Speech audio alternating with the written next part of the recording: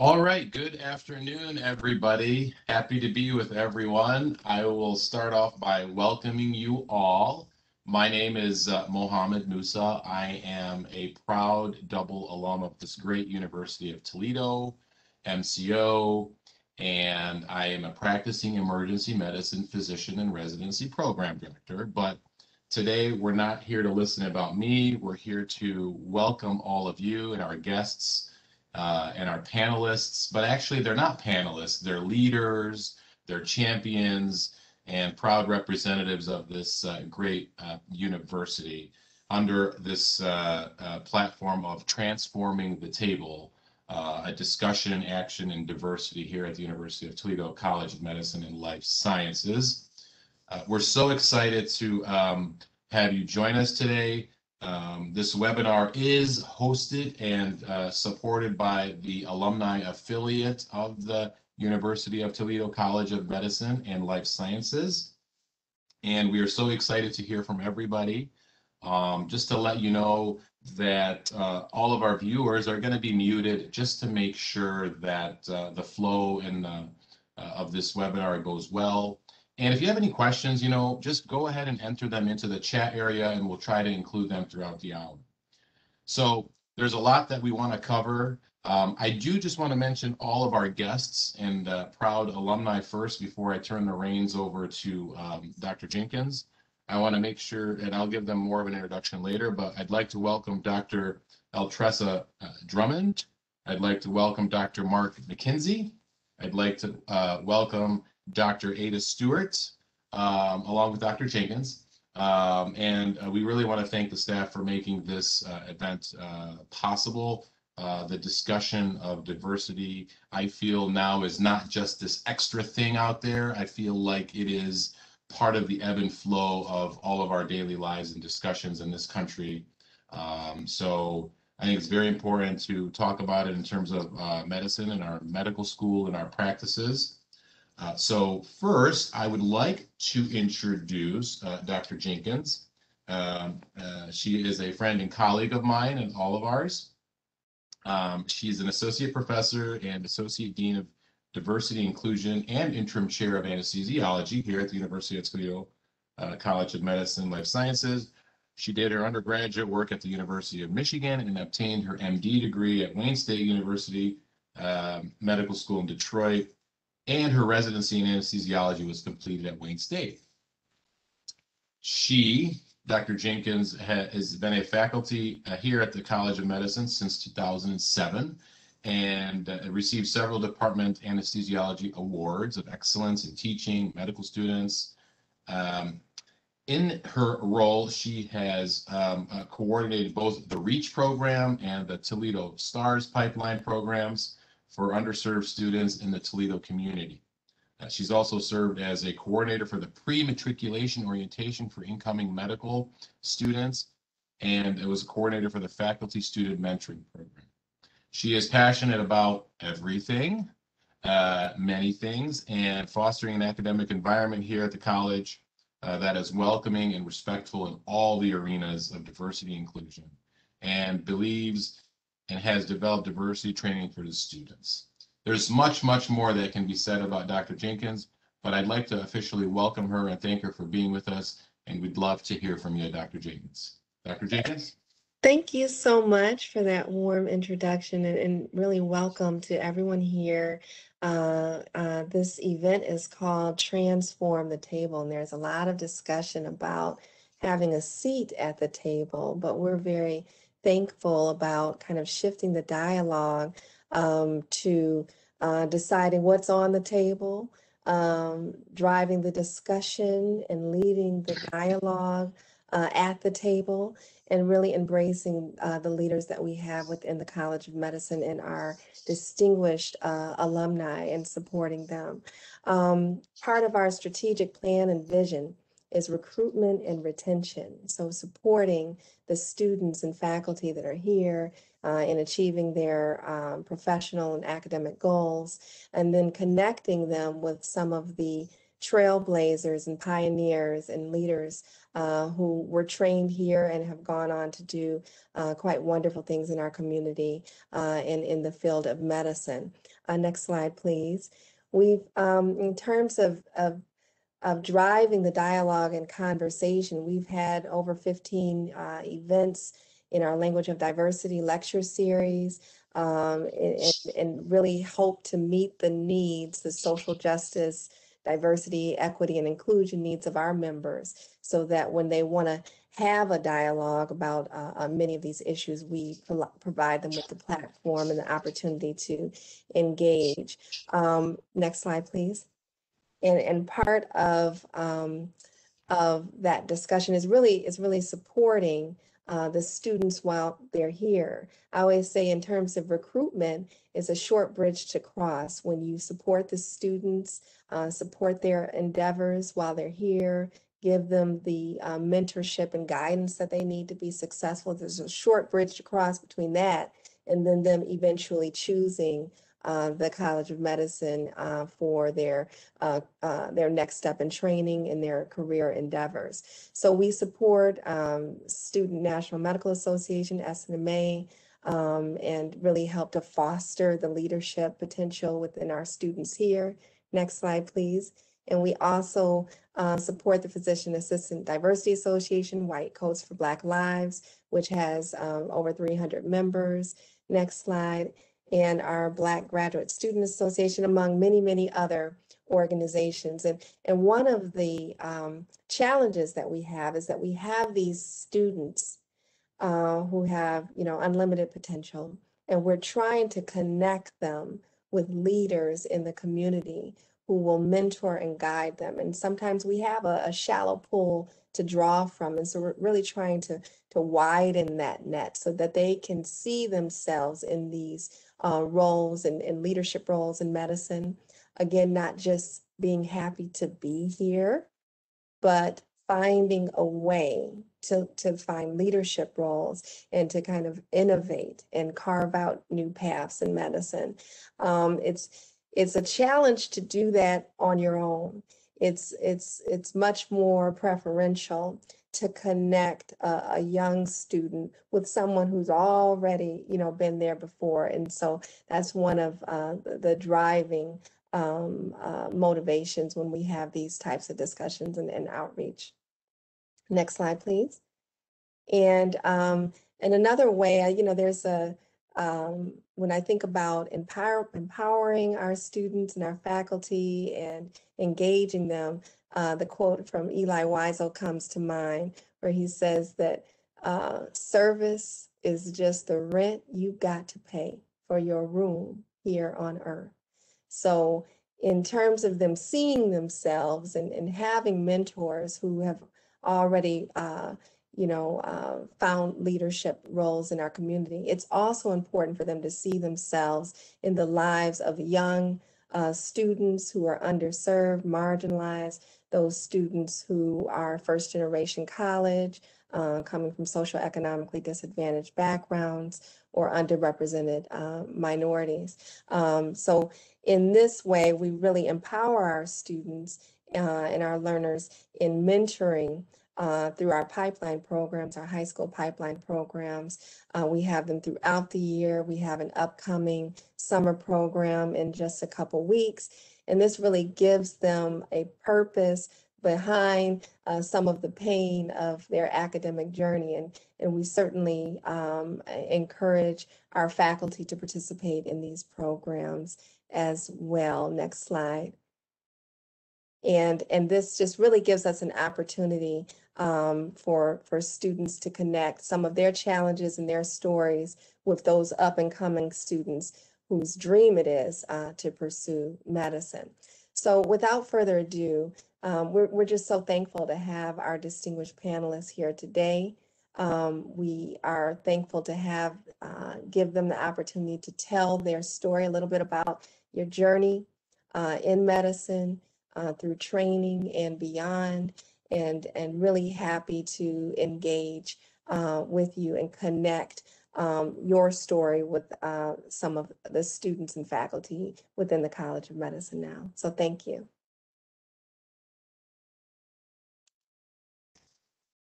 Thank you, Dr. Jenkins, uh, for that wonderful presentation and overview of what's trying to be done here. And I agree. I hope, like you described, that hopefully that shallow pool will become a deep pool of mentors and advisors for students that are uh, up and coming uh, in this route. Um, great, thank you. So I would like to next introduce Dr. Uh, Altressa uh, Drummond. Um, it's my honor to introduce her. She was born uh, born and raised in Lorain, Ohio, just outside Cleveland, I imagine, right? That developed a desire to become a physician during her senior year in high school, developed an interest in medicine due to her fascination with the complexities of the human body and the ever evolving field of medicine, resulting in constant learning and growth in job security. Um, these two factors prompted her decision to pursue a career as a physician. She obtained a BA in biology at the University of Toledo and an MD at the Medical College of Ohio, MCO, uh, and she completed her internship and residency here at the University of Toledo Medical Center. Was a, she was a hemodialysis technician. Bless you for that. Wow and for years before applying for medical school, decided upon internal medicine to do inpatient work solely to obtain what she thought would be a work-life balance. Uh, worked as a full-time hospitalist for nine years, uh, a locums tenens hospitalist. And those of you on the call that don't know what locums tenens is, that's like kind of like working all over the place for days at a time, weeks at a time, traveling uh, and supporting those uh, hospitals around the country. Uh, she did that for five years and then uh, returned to full time for two more years. Uh, organized a blood drive for her church, participated in the Barron Middle School Careers Day for three years, and participated in medical missions to Ethiopia with Joyce Meyer Ministries, a life changing and powerful experience. Uh, she plans to return to Ethiopia to participate in medical missions in a few years under God's continuous guidance. Uh, please help me in welcoming Dr. Altressa Drummond. Hello, everyone. Um, it's an honor and a privilege uh, to participate in uh, the virtual meeting. Thank you for having me. Um, as you know, I obtained my BA in, uh, at the University of Toledo in biology, and I did work for a few years as a hemodialysis technician, and I um, decided to finally pursue my dream of becoming a physician um, at the age of 30. Someone recommended that I um, reach out to Dr. Barry Richardson, who um, provided uh, recommendations on uh, acceptance, gaining acceptance into medical school, and I started there in 97. Um, I appreciate how they provided uh, mentors of medical students a year ahead of us to give uh, recommendations and tips on how to study effectively and succeed in um, the first year of medical school. I also um, noticed how they randomly assigned us um, in groups for gross anatomy and for the clerkships in the third and fourth years of medical school, which expanded my um, friends or um, connections, so to speak. I was a member of the SNMA, and I appreciated how we planned, get you know, time to study uh, together, and social um, events to decompress, which was very helpful. There were some who were gracious enough to provide um, recommendations and advice on how to succeed uh, for the clerkship programs during the third and fourth years. I was also a member of the um, Christian Medical and Dental Association, where we did Bible study and prayer, which strengthened and encouraged me uh, during the uh, tough times in, in medical school. I noticed my first year of medical school, there were a lot of cliques. But by the fourth year, we were all, there was a, a sense of fellowship and, and we were helping each other, providing recommendations and you know, distributing study materials or what have you uh, to help us to succeed in, in those clerkship programs. I um, also, let's see, give me a moment here. Um, for, I would recommend, what I would do differently in medical school is to take uh, full advantage of the um, the resources that UT has that, they provide. I regret not um, utilizing my um, medical student more uh, for studying smarter uh, during my first year. Um, I um, also appreciate UT when I was diagnosed with uh, breast cancer shortly after match day. And the place that I matched at uh, could not provide the uh, medical um, treatment coverage that I needed. And so I did residency and intern internship and residency at um, UT, and they provided full coverage for the surgeries and the um, chemo and radiation therapies that I needed. And they also um, placed me on a light schedule my first year there because they knew that I would be um, not up to the, the grueling schedule of internship while undergoing chemo and radiation therapy. Um, they were right. Um, I noticed, and I would recommend when you match, finding a good um, study guide for your boards and just utilizing that um, resource every year, just going over it so that when you uh, complete your residency, you will be well prepared for the boards and it will provide a um, firm and steady, a good foundation uh, for you, your knowledge in your career. Um, the BRS series for med school was very helpful uh, to me as well. And I would recommend that you take care of yourself.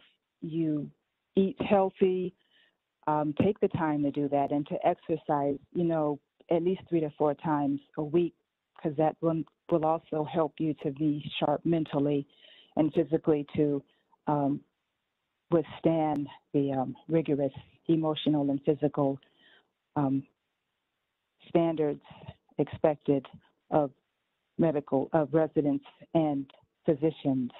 And and to start the financial um, planning financially from day one of um, your attend you know when you become an attending. Have that savings and um, 401k or IRA from from the start. And look into you know getting into a side hustle as they call it. Something that you enjoy doing that that could also um, provide additional income. And and in my case, um, Jesus made the difference for me. Um, he placed the right people in my pathway, and and just I just felt strength and and encouragement uh, to press on uh, during the rough times because there will be. And and and you're human. If if you need help, be it with studying smarter, um, get the help.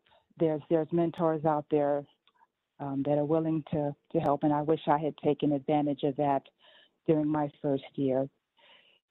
And if if you are you know stressed or burned out, even if it, it means you know seeking help counseling, psychiatry, or what have you, don't try to, to go it alone or don't try to tough it out because it it may only get worse and, and just to to just seek the help that you need early on and, and address the issue so that you can put it behind you and continue moving forward um, is, is what I would, would recommend. And I thank you for, for this opportunity once again.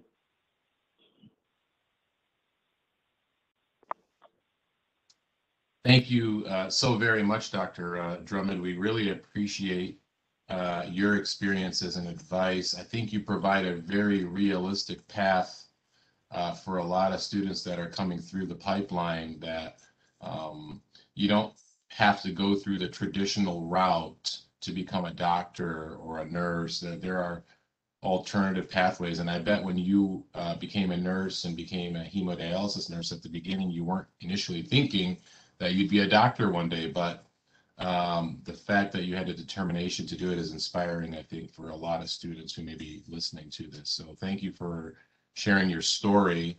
And if we don't talk about the hardships, I think we're not doing our students who are listening a favor because we all have them. So thank you very much, and that's very helpful. Um, so continue on with our program. I'd like to um, welcome again Dr. Um, Ada Stewart. Is she back yet, or um, I knew she had to drop off. If not, um, Yeah, we got a message, Dr. Moussa, that she has to testify on the floor of the House, which is a pretty impressive thing to have to leave for. yes. Okay. So let's uh, let's uh, move on a little bit. Maybe we can come back after she's uh, uh, done with that, if that's a possibility. Um, and I just wanted to remind everyone who's listening to this program, please enter your questions in the chat box, um, and then we can incorporate them as we uh, move forward. Uh, we'd really appreciate that. Um, Dr. Mark McKenzie, are you? Uh, uh, can I give you a little introduction, and then we'll uh, move on to you? All right. So everybody would like to know a little bit about you. So uh, Dr. Mark McKenzie is the Regional Medical Director and Principal Investigator at the ClinSearch in Chattanooga, Tennessee. It's a medical research site that is currently conducting COVID-19 treatments and prevention studies. Amazing. He has been an investigator in over 200 clinical trials for various medical therapies and is a principal investigator for both uh, Moderna, Novavax COVID vaccine research trials. And uh, Dr. uh, McKenzie previously owned and operated a private internal medicine practice and also served as the medical director for Cigna. Wow. Uh, has been providing healthcare in the Chattanooga, Tennessee area for the last uh, uh, 19 years. Uh, Dr. McKenzie holds a BA in biology and a BS, Bachelor of Science in Medical Technology from Southern Adventist University in Tennessee. And he received his medical doctorate degree from none other, the University of Toledo, Go Rockets, uh, Medical College of Ohio uh, in 2000. I started medical school in 2000. You left in 2000. Um, and also did his internal medicine residency there. Uh, Dr. McKenzie is passionate about consumer healthcare and believes that education and appropriate access uh, to resources are vital to uh, the well-being of all. Uh, help me in uh, welcoming Dr. McKenzie, and we'd love to hear your story. Thank you, Dr. Moussa. Um, started uh, at the University of Toledo, well, Medical College of Ohio back then in the mid 90s. And uh, when I came to school, which was interesting, uh, non-traditional student, was married with one nine-month-old child. And during medical school, we actually had two more kids there. The, as uh, Dr. Drummond was talking, I'm reminded of some of the things I tried to do, toughing it out on my own. My sec- second child was in the ICU at St. Vincent's for the first six uh, uh, weeks of her life and trying to do biochemistry at the same time of sitting in the ICU next to her uh, uh, in, in, in bed there was one of the toughest things I did. But um, being uh, stubborn and what I thought was brave, I didn't tell any of my professors. I remember eventually mentioning it to one of my mentors, Dr. Mary Smith, and she directed me to Dr. Gohara, who said, What are you trying to do? Let us slow some things down for you until she's out of the woods, and then you can get back on schedule, which is what I did. And um, caught up within a few months uh, with the rest of my class. But that's a lesson learned. Communicate with your professors, let them know what's going on. Sometimes personally, you want to keep that to yourself. And as having a family, a young family, I was trying to do that and, of course, be successful. But uh, spending your days in, in school and then uh, any other extra time I had at the hospital is no way to be successful in, in, uh, in uh, med school. I did get through, and as uh, was mentioned, I did my residency there. I back up to prior to medical school, I was a medical technologist. If you know what that is, they were the people who do your lab testing in the hospitals or other clinical labs for providers, physicians, and, and others. Um, and always had a penchant for lab. Um, when I was there at uh, in Toledo, Dr. Gunning, who's a pathology uh, professor there, and uh, Dr. Smith had hematology research that I was privileged to become a part of working on something called dense granule deficiency. I was honored to go to the American Society of Hematology national meeting and present a poster, and also did that later on for um, the ACP meeting. Uh, it was in Atlanta then. So in my head, and part of what I always liked about medicine was the study of how things work and what to do, and also thinking of therapies um, with that. After um, medical school, came down to Chattanooga, Tennessee. My first two job offers and for re- after residency were down here, and uh, I settled in a group practice and eventually had my own uh, independent practice.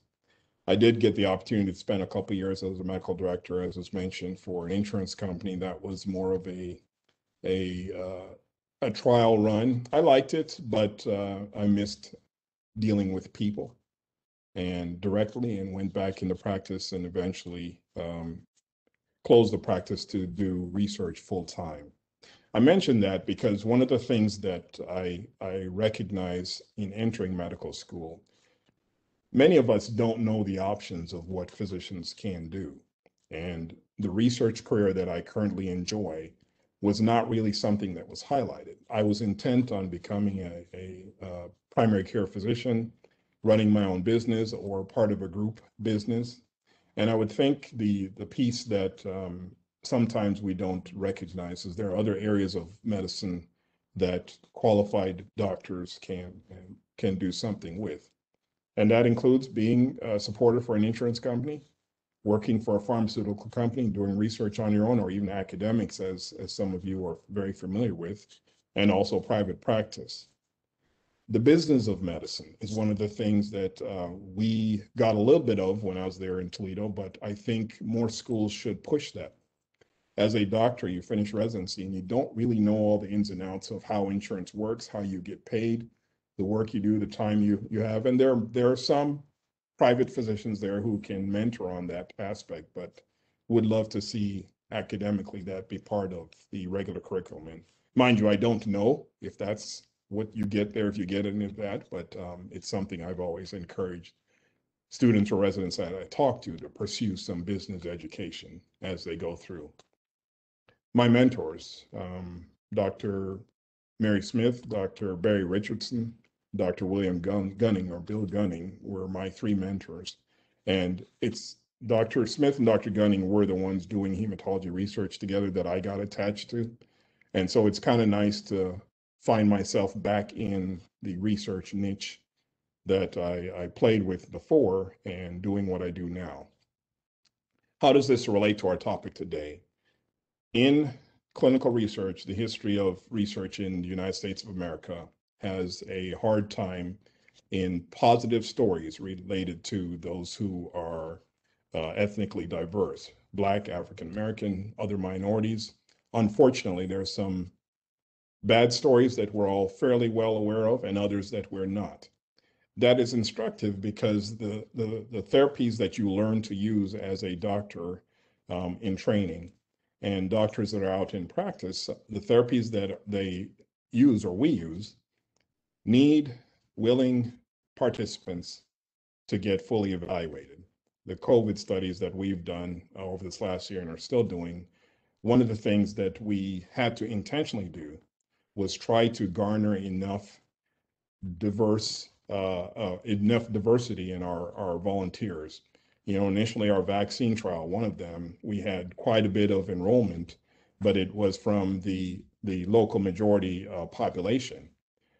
The sponsor and the FDA recommended slowing everything down to intentionally include uh, more diverse population. We were able to achieve that. So one of the things that I do as an investigator and medical director is I am able to use my platform to encourage volunteers from uh, various backgrounds to make sure that the medicines we're testing have their input as to how it works, how they tolerate it. So the information you get when you're ready to submit to uh, an FDA uh, evaluation includes diverse uh, uh, people who've used the medicine, who've tried the medicine, and that we have safety data on. It gives you confidence that these things work. I also speak to local groups about research, trying to uh, destigmatize it. It's been really good for the media uh, exposure of the last year as to what clinical research is about and how we do it, the different phases, and who gets included and who doesn't. Um, but it's also brought a lot of questions and conspiracy theories that we've had to spend uh, time um, getting rid of or, or, dealing with. And to me, it's been an honor. And I enjoy the education. Um, you can't win every fight, and you shouldn't try to. But giving facts, being able to look people in the eye with my background, my my education, my experience, and talk to them plainly, so they can understand what uh, clinical medicine is about, clinical research is about um, is a positive thing. My my start really because of Toledo, having the experiences I did there, the mentors I did who had an interest in me, my family. Um, as I mentioned, I had uh, started med school with one one child, nine month old. We had two more in school, and actually one in residency when I was there. So four kids. Um, grew up through med school and residency with us, and uh, thankful that uh, for the time, the patience, the support that I had there in Toledo. Again, the message, talk to your professors, talk to each other. It does make a difference.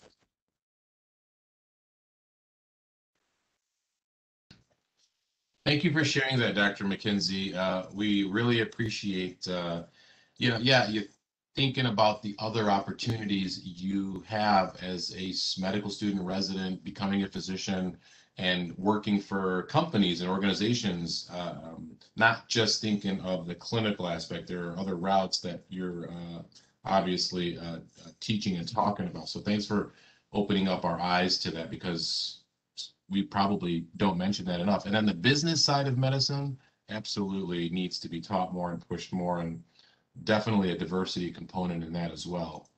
Um, what I would like to do now is I do want to read the bio introduction of uh, Dr. Ada Stewart. She's testifying on the floor of the House. I'm not sure if that means Congress or a state thing, but I'm sure whatever she is testifying about, she's advocating on behalf of all of us in some way, shape, or form.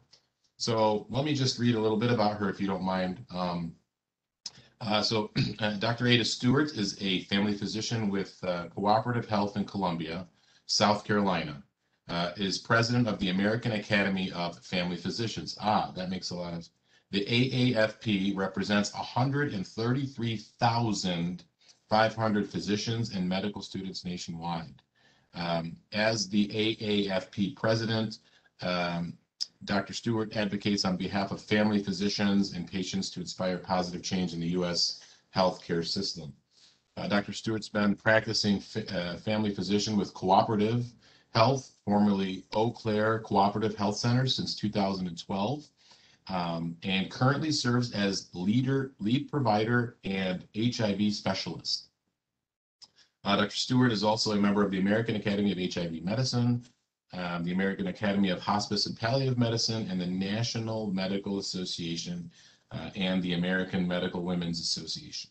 Uh, born and reared in an underserved urban area of Cleveland, Ohio, Stewart was Dr. Stewart was committed has committed her career to ensuring uninsured and low-income families have access to high-quality health care. And in the aftermath of September 11, 2001, uh, Dr. Stewart enlisted in the U.S. Army Reserves and has achieved the rank of colonel. Uh, and Dr. Stewart earned her Bachelor of Science degree in pharmacy from Ohio Northern University in Ada, Ohio, uh, realizing she wanted to have a more direct impact on patients' lives and well-being, uh, she returned to school, uh, completing her medical degree at the Medical College of Ohio and her family medicine residency training at Palmetto Richland Memorial Hospital in Columbia, South Carolina. So if Dr. Stewart does come back on, we'll circle her back in uh, so she can uh, speak. But I, I kind of want to uh, just ask a general question to everybody Um, so how and why, uh, if our panelists can answer this, how and why is diversity important in medicine, in medic, medical training?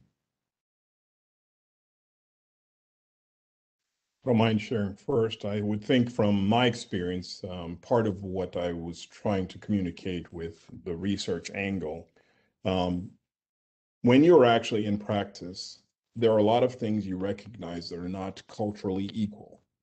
When I'm talking to a patient from a certain background, that same discussion doesn't necessarily apply to somebody from a different background.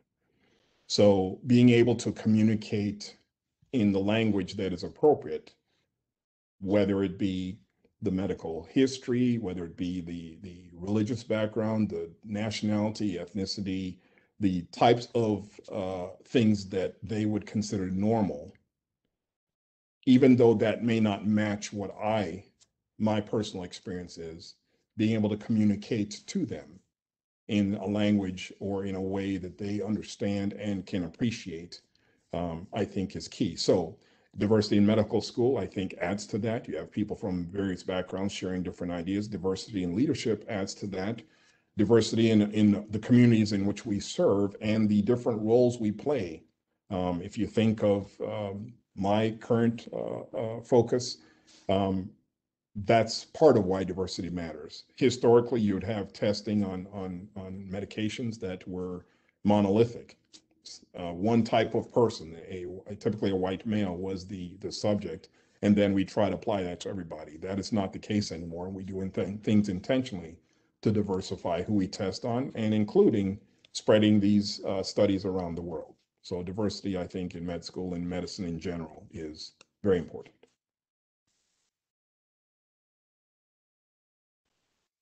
Dr. Jenkins, can you add anything to that, please? I, I think in a lot of ways, um, you know, we really draw on the richness of diversity in our experiences and, and backgrounds, and we use this as an asset in providing the needs of the diverse patient population we serve. So ultimately, it, it comes down to uh, who we are serving, you know, having um, a diversity of, um, among uh, across several spectrums. You know, it's we recruit for our students, for example, students from underrepresented minority backgrounds, socioeconomically disadvantaged backgrounds, we know that that helps us to better meet the needs of, of our patient population. So as opposed to, as you said, Dr. Moussa, this being something that's an add-on, it's really integral to us providing excellence and really fulfilling our mission in research, in education, and of course, in inpatient care. And I'm just really inspired by um, our panelists here because every experience that they've had, whether being non-traditional background, dealing with medical challenges, coming from underserved, marginalized communities, has served them well in their practice and given them more tools and more resources to offer uh, in, in their medical practice. Great, great. Um, Dr. McKenzie, I wanted to ask you a specific question. I think many people might be wondering um, in terms of diversity and medicine and our patients. Um, a lot of it seems I don't I don't say a lot. It seems like many patients of diverse, underserved, or underrepresented population are hesitant or suspicious of the vaccine. Mm -hmm. um, can you address that a little bit and talk about that? It might be helpful in this forum. Yeah, I think that's very good. Actually, one of the better um, resources, if you're looking for a book, is something called Medical Apartheid. Apartheid. I think um, it's a good read for a lot of us to consider the history of medicine. If you know the history of medical research and medical care in this country, it allows you to empathize or listen to those concerns from from from that background. One of the things I've done is over the last, you know, since last summer, maybe 30 or more town halls via Zoom or in person. I just did another one at a local church on Sunday. And the point of that is for to allow a community to ask me questions about research. The suspicion comes from the history And then the hesitancy when you see something, unfortunately, in this day and age, when we were in school, we didn't have Instagram and Facebook wasn't a thing. But now people get a lot of their information through social media and their ideas are formulated that way. If it was on any media of any sort, it must be true. So to allow them a chance to verbalize questions that they have that they received um, on on online or in social media somehow is a way to deal with that. The idea that you're being researched on, quote unquote, we're testing things on you to to see if it works, but we're not protecting your safety. That we try to dispel that. The things that it's going to, the vaccine in particular, it's going to change your DNA using some method that we know from science doesn't match what the the the the, the story is out there that somehow you're being tracked. Talking plainly to some of those I, ideas is something we we deal with. I had somebody ask me about the chip that you know is in the nanoparticle in the vaccine, and he was holding his phone while he was talking to me, and so I had to point out, accept his his statement, explain the science to him why that didn't fit with what I know, and then explain to him about the idea that his phone is more of a tracking device than anything we deal with in in vaccines or or anything like that. So the the hesitancy is fair. It comes from history, um, but trying to deal with facts and how the vaccines have helped, especially vaccines that they've already taken, you know, MR, um, the uh, MMR and those types of things that people have successfully taken and what it's done for society, and using that to help us with this push to get more people uh, protected. Great, uh, thank you. And once again, we wanted to welcome all of our uh, participants who are on the uh, uh, call here. If you have any questions, please submit them in the chat uh, box. But um, just a general question here. Um, if you could go back to medical school, and this is for our panel, um, what would be one thing that you would you would do differently?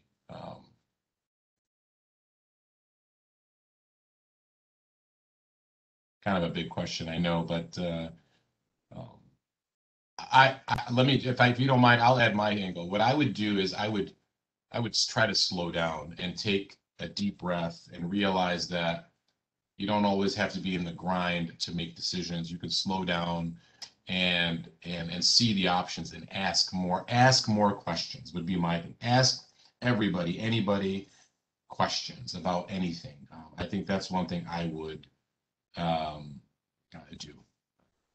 Anybody else in the panel have suggestions?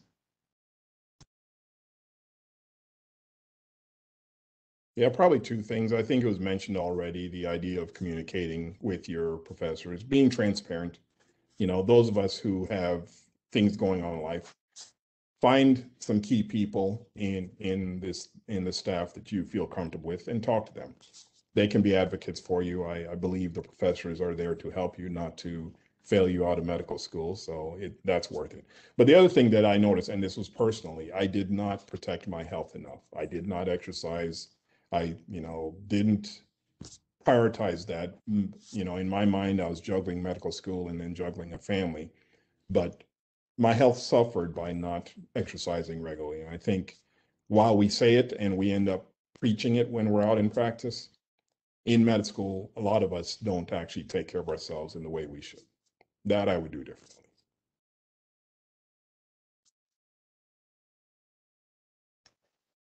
I know I certainly would shake off that so-called imposter syndrome earlier.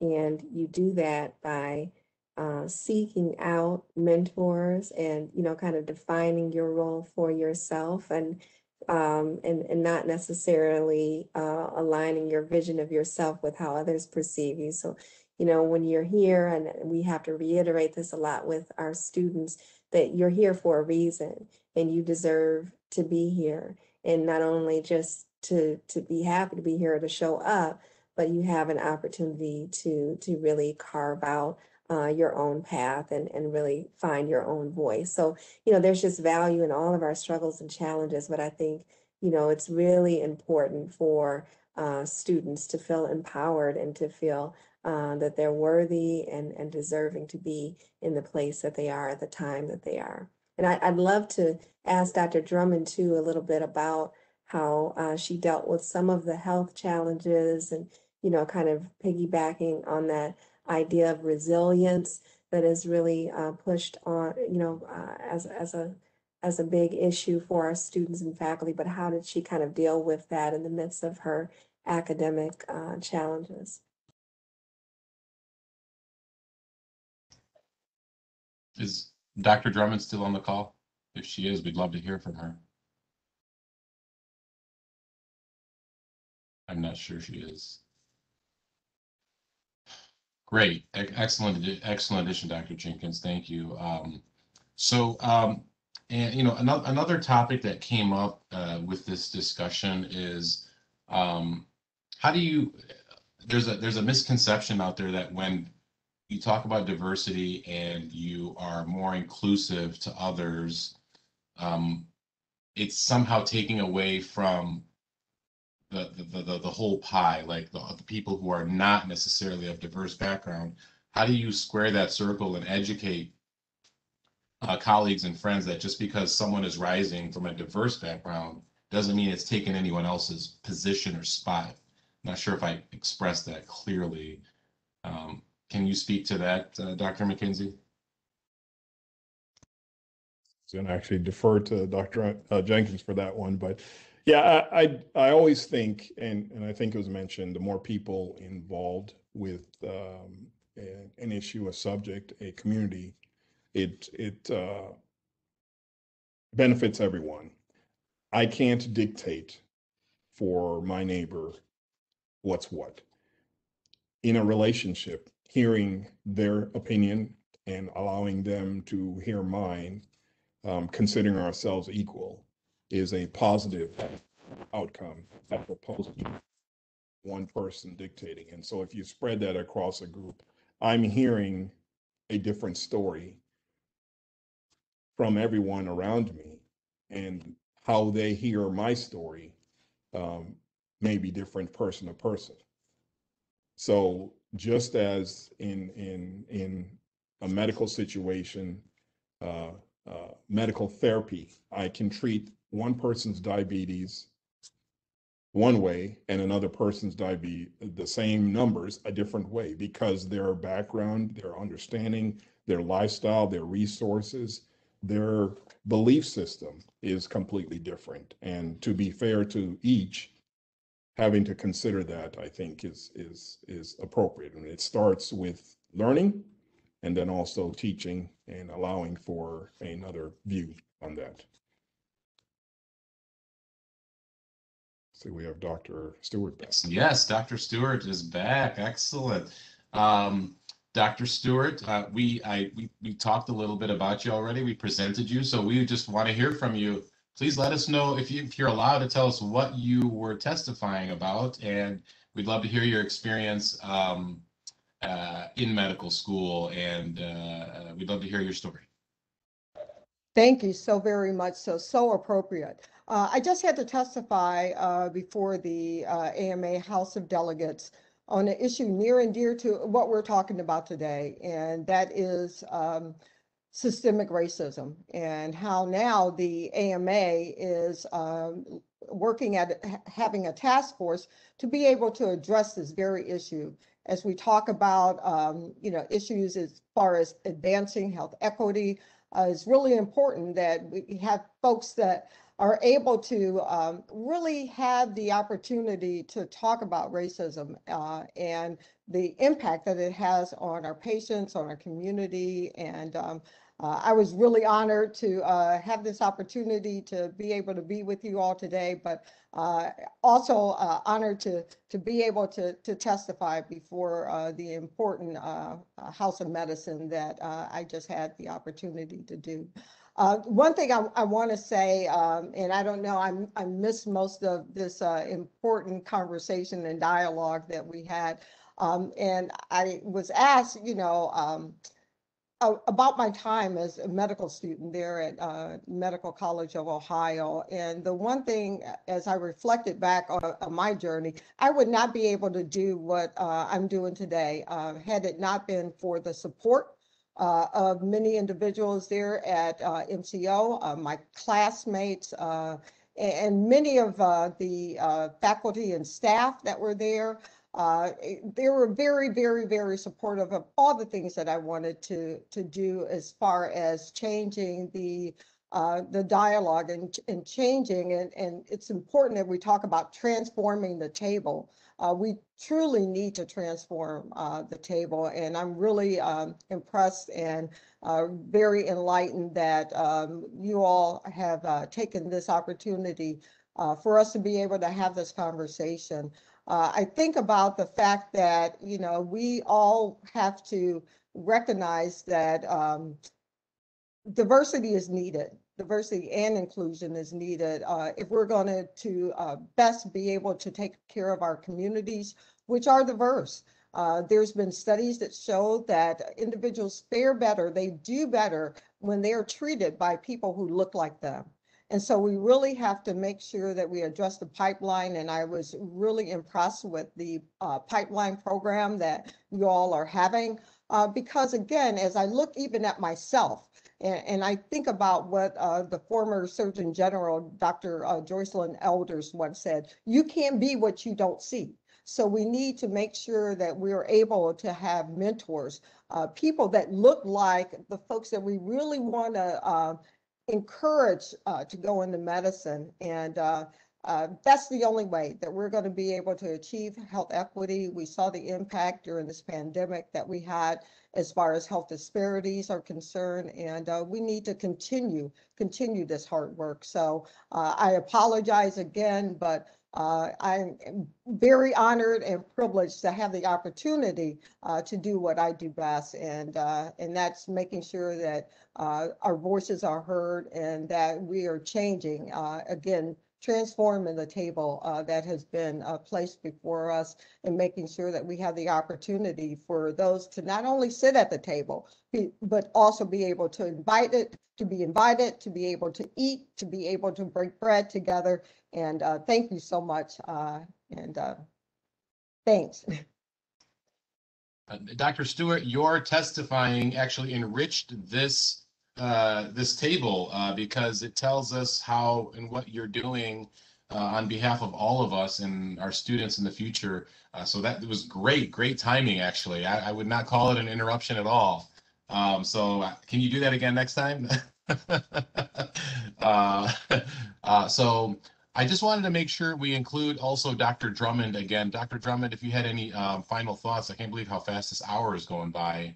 We wanted to unmute you and get you in on this discussion again. I'm sorry, can you hear me now? Yes, yes, we can. Okay.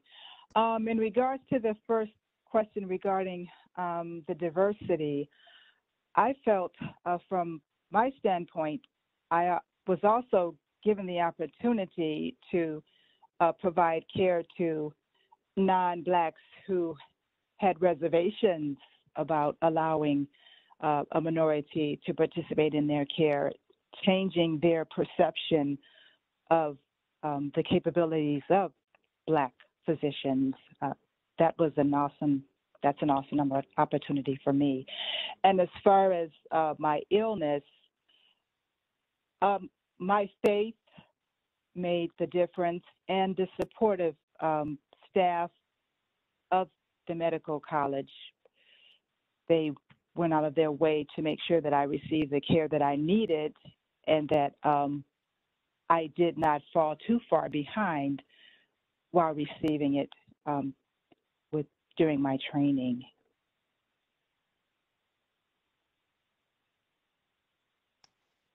Excellent, excellent. Um, thank you for that. Uh, and what I would like to do now, as we're kind of concluding this session, is open it up for anyone to say anything about this discussion, uh, transforming the table event. Um, I really sincerely hope, uh, I'm happy that this is the second one in our series, and uh, we plan on doing this in the future more. Um, any final thoughts uh, before I turn it over to uh, Marcus, who will close us out?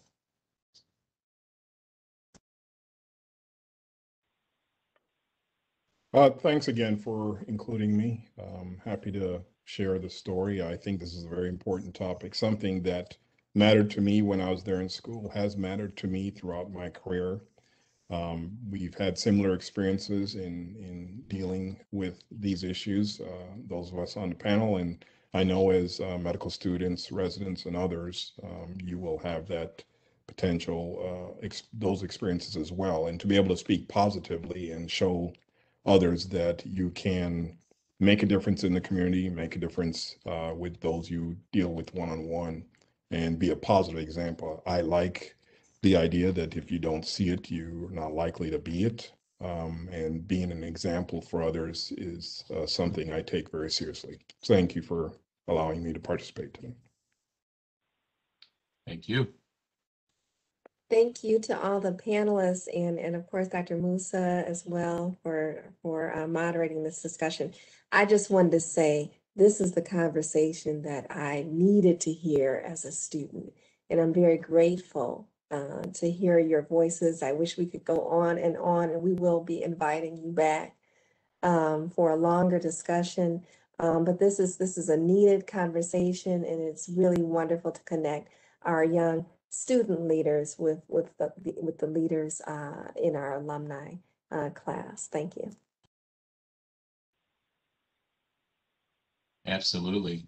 And everyone should know that this is being recorded. We will post this online for to share this more and more. Uh, Marcus, it's to you now. But Can you hear me? Perfect.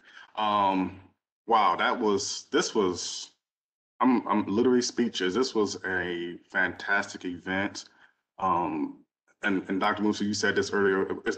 These individuals are not panelists, they're leaders. So thank you for all our leaders um, for cutting out time to share your stories, share your advice, share um, this wisdom upon all the viewers um, and the future viewers when we email this out.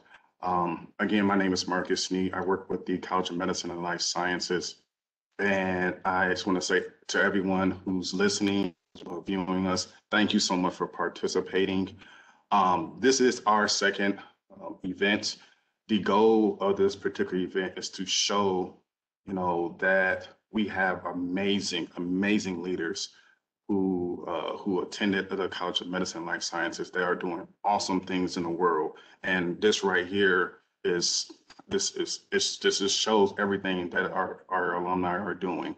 Um, and the other part was to you know create opportunities for our students to be able to see see that hey I can do the same thing that these alums are doing when I graduate. And also, you know, we're going to provide opportunity to for for mentor mentors.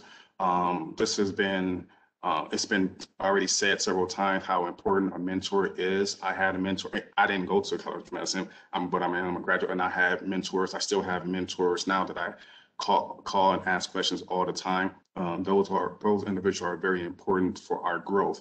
And so we want to make sure we provide opportunities for our students to have mentors. And this is why we wanted to also to put this particular event on. So again, thank you so much for everyone joining. Um, stay tuned. We will continue the series um, uh, in the future. And so please stay tuned and, and join if you can. And um, if you, um, I will provide my information in the chat box, my phone number and um, email address. So if you are looking for a mentor and or if you want to be a mentor, um, please contact me and we will work to find one for you. Thank you. thank you, Marcus. Thank you, everyone. Appreciate it and talk soon. Bye.